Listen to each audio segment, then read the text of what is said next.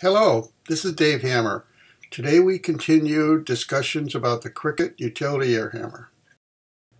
This video is the final part of a series that shows how to build the Cricket Utility Air Hammer. This video offers additional advice and lessons learned during and after building the Cricket. There are even a few alternatives to the original Cricket design provided. Air hammers need clean air with a very light oil mist. An air cleaner, regulator, and oiler should be installed fairly close to the hammer. The larger the inside diameter of the airline, the better. The original Cricket runs just fine with a 3 8 inch air hose that is connected to an air source that will supply its needs. Be sure all the fittings provide at least a 3 8 inch passage. The smallest passage or fixture restricts the air delivery capability. Please note, if you use a larger cylinder, you may need a larger inside diameter airline. Check for ram wobble before each use. Adjust the gibs if necessary. If you notice significant grease on the tower during operation, wipe it off. Excessive grease on the tower is actually a fire hazard because of the scale. On the original Cricket, I need to pump a lot of grease into the gib slots to fill them. This results in a lot of grease being on the tower. This is not a good thing. Make your gibs with a close tolerance so you don't need excessive amounts of grease.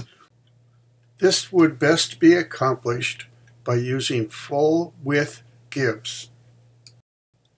The original Cricket is a lightweight when the ram is cycling fast, the hammer may wobble or walk around because the ram is causing significant lift when the ram starts its downstroke. To eliminate this from happening, significantly increase the weight of the anvil and or the base, or bolt the hammer to the floor. If the cylinder you use doesn't have cushions, it would be wise to consider putting bumpers on both the top and bottom of the tower to prevent the internal piston from hitting the end caps. I haven't validated this, but I am fairly confident in these guidelines. Heavier falling weights may require three and a quarter or even four inch bores with up to three quarter inch ports. Butterfly valves were selected for use over ball valves because they provide more proportional airflow when mapped against the handle movement. This is a significant performance issue for control on both the input and the output side of the air circuit. Be sure you blow out all the chips that are a result of drilling and threading holes. If you don't, chips will migrate into the air valves and damage them. Don't draw down on the bolts when you install air circuit valves. It could lock up or damage the internal mechanisms.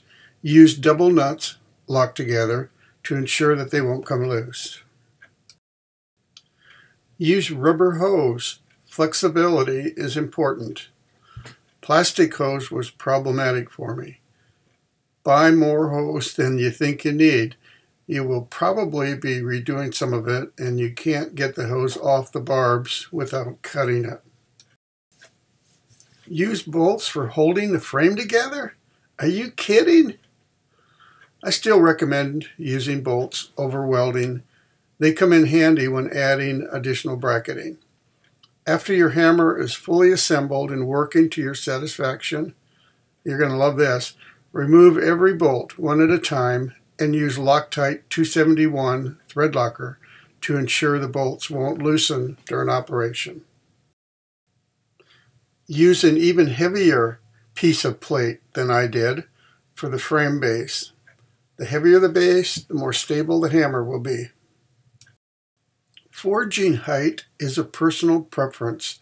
I like to stand straight while I'm using a power hammer and have my elbows bent just a little while holding the stock I'm forging level. That posture defines the forging height the top of the lower die should be. Some folks sit while they are forging. Presumably, although not necessarily, this might mean the die would be lower. In any case, you should have a strong preference where you want the lower die to be before you start building your hammer. It will affect the length of your anvil or the height of the base you add under your frame. During the episode that covered the frame construction, it was suggested the anvil be placed in the left front corner of the base. The anvil should be in a corner, but it could be in the right corner if that would suit your fancy better. Although I recommend running the tower all the way down to the base, if you already have a bar that would work, but it lacks a few inches in length for height, you could raise it a bit off the base. Just be sure there is enough overlap with the anvil for alignment and stability. The original Cricket has a one and three quarter inch square tower. If your ram assembly is heavier than 60 pounds or so, you should consider a heavier tower. I use the bolts that hold on the lower die to secure the table. It would be good to add additional bracketing below the table to secure it. It is important to prevent scale from falling down the openings on the table. I suggested and encouraged the use of a larger piece of the heavy fiber used to wipe the rod. It needs to allow for a little wiggle room for the ramp dock assembly hole. Don't use a polyester product for the fiber. Scale will burn it. The 8-inch length for the guidance system used on the original Cricket is minimal. The longer the guidance system is, the more stable the RAM will be. The original Cricket has just two gib adjusters on each side, which is fine with the heavy brass gibs. If you use full width gibs, you may need more gib adjusters. Gib adjusters could be larger bolts for more surface contact to the back of the gibs. You might consider not welding the lower die together until the ram assembly is done and can be installed in the tower. This would allow you to line up the lower die perfectly with the upper die. The attachment of the handrail needs improvement. Currently, bumping against it is loosening its bolts too easily.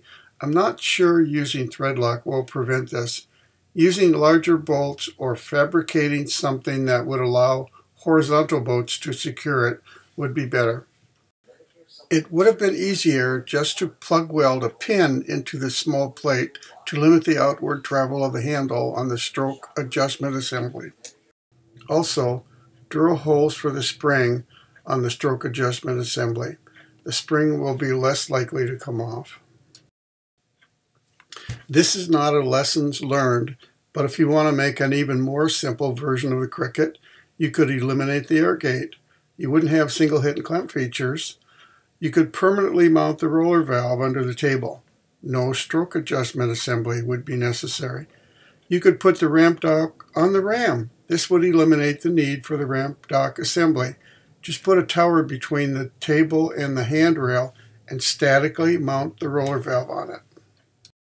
That's all I have for now. I hope to have a website up soon with the operations and air circuit description document, a forum, read only unless you are registered, and an ever expanding FAQ. This is Dave Hammer. Thanks for listening.